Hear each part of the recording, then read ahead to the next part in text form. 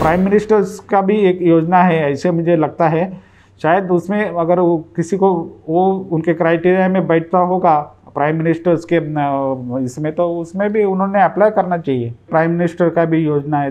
ऐसे काफ़ी योजनाएँ ये गवर्नमेंट ने भी चालू कर दिए है। तो ये लोगों को वो योजना का अभ्यास करके उसमें अगर वो ये सब उनके पेपर वर्क्स में बैठता है, उनके प्रोसीजर में बैठता है तो उधर अप्लाई करना चाहिए।